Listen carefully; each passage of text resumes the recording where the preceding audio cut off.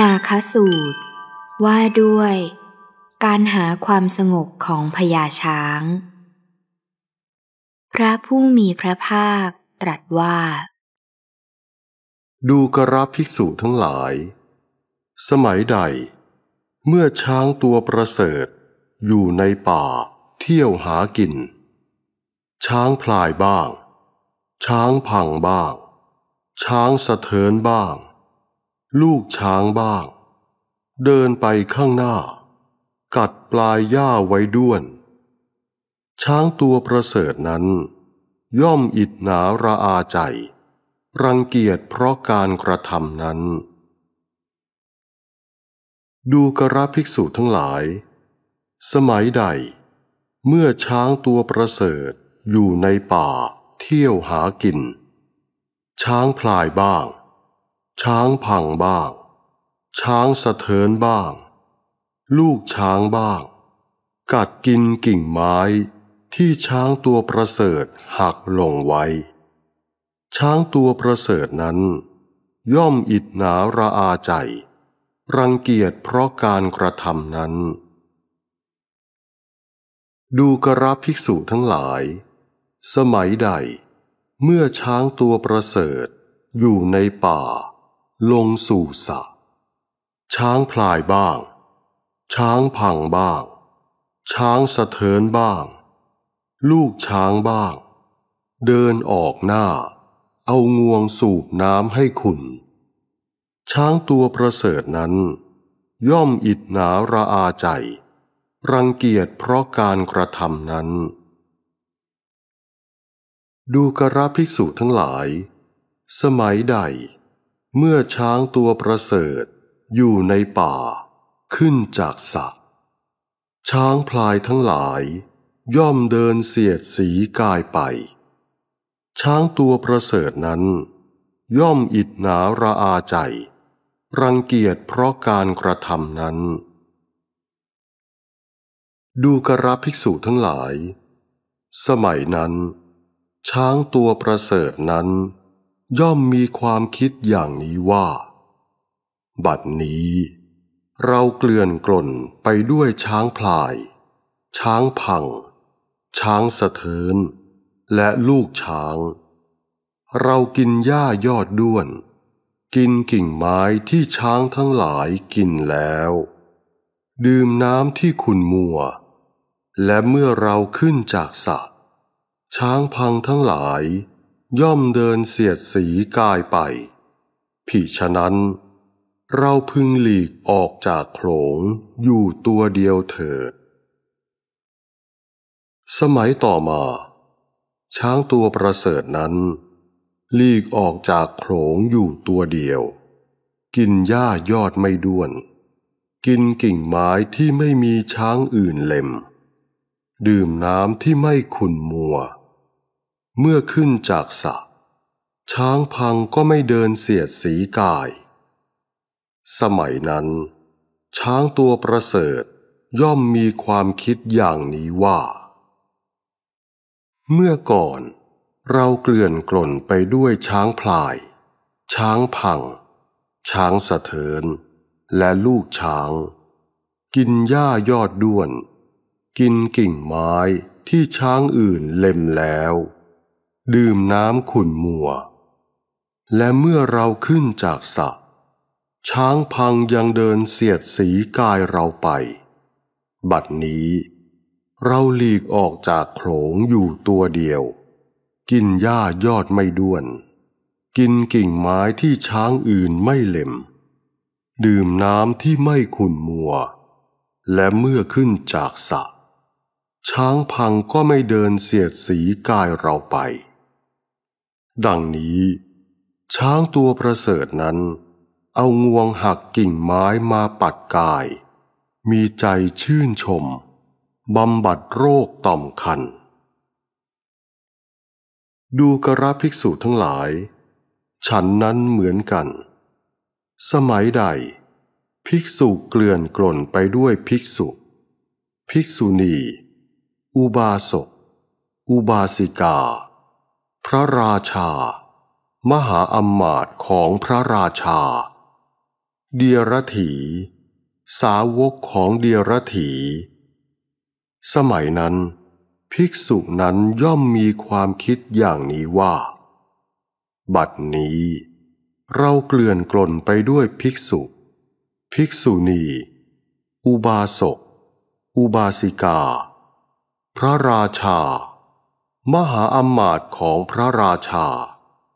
เดียรถี สาวกของเดียรถีพิฉะนั้น เราพึงหลีกออกจากหมู่ไปอยู่ผู้เดียว เธอเสพเสนาสนะที่สงัด คือป่า โคนไม้ ภูเขา ซอกเขา ถ้ำ ป่าช้า ป่าชัด ที่แจ้ง ลอมฟาง เธออยู่ป่า โคนไม้ หรือเรือนว่าง นั่งคูบัลลัง ตั้งกายตรงดำรงสติไว้เบื้องหน้า ละอภิชาในโลกเสีย มีใจปราศจากอภิชาอยู่ชำระจิตให้บริสุทธิ์จากอภิชา ละความประทุษร้าย คือ พยาบาท มีจิตไม่พยาบาท อนุเคราะห์เกื้อกูลแก่สรรพสัตว์ชำระจิตให้บริสุทธิ์จากความประทุษร้าย คือพยาบาท ละถีนมิทะปราศจากความง่วงเหงาหาวนอน มีความสำคัญในแสงสว่างอยู่ มีสติสัมปชัญญะชำระจิตให้บริสุทธิ์จากถีนมิทะละอุทธจักกุกกุจจะไม่ฟุ้งซ่าน มีจิตสงบในภายในชำระจิตให้บริสุทธิ์จากอุทธจักกุกุจจะละวิจิกิจฉา ข้ามพ้นวิจิกิจฉา ไม่เคลือบแคลงสงสัยในกุศลทั้งหลายชำระจิตให้บริสุทธิ์จากวิจิกิจฉา เธอละนิวรณ์ห้าประการนี้ อันเป็นอุปกิเลสแห่งใจทำปัญญาให้ทุรพลแล้ว สงัดจากกาม สงัดจากอากุศลธรรม บรรลุปฐมฌาน มีวิตก มีวิจารมีปีติและสุข เกิดแต่วิเวกอยู่ เธอมีใจชื่นชมบำบัดความระคายใจได้ เธอบรรลุทุติยฌานมีความผ่องใสแห่งจิตในภายใน เป็นธรรมเอกผุดขึ้น เพราะวิตกวิจารสงบไป ไม่มีวิตก ไม่มีวิจารมีปีติและสุข เกิดแต่สมาธิอยู่ เธอมีใจชื่นชมบำบัดความระคายใจได้ เธอมีอุเบกขา มีสติ มีสัมปชัญญะ เสวยสุขด้วยนามกาย เพราะปีติสิ้นไป บรรลุตติยฌาน ที่พระอริยะทั้งหลายสรรเสริญว่า ผู้ได้ฌานนี้เป็นผู้มีอุเบกขา มีสติ อยู่เป็นสุข เธอมีใจชื่นชมบำบัดความระคายใจได้ เธอบรรลุจตุทชาญ ไม่มีทุกข์ ไม่มีสุข เพราะละสุข ละ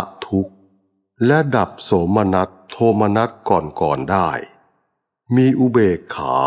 เป็นเหตุให้สติบริสุทธิ์อยู่ เธอมีใจชื่นชมบำบัดความระคายใจได้ เพราะล่วงรูปสัญญาโดยประการทั้งปวง เพราะดับสิ้นปฏิฆาสัญญา เพราะไม่มนสิการถึงนานัตะสัญญา บรรลุอากาสานัญจายตนะฌานด้วยบริกรรมว่า อากาศไม่มีที่สุด เธอมีใจชื่นชมบำบัดความระคายใจได้ เพราะล่วงอากาสานัญจายตนะโดยประการทั้งปวง บรรลุวิญญาณัญจายตนะฌานด้วยบริกรรมว่า วิญญาณไม่มีที่สุด เธอมีใจชื่นชม บำบัดความระคายใจได้ เพราะล่วงวิญญาณัญจายตนะ โดยประการทั้งปวง บรรลุอากินจัญญายตนะฌาน ด้วยบริกรรมว่า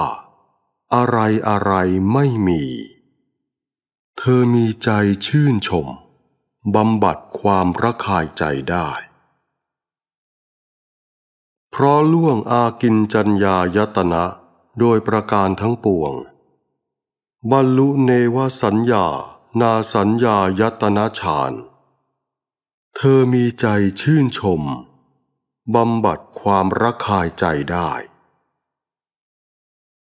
เพราะล่วงเนวสัญญา นาสัญญายตนาฌาน โดยประการทั้งปวงอยู่ บรรลุสัญญาเวทยิตานิโรธ อาสวะของเธอสิ้นรอบแล้ว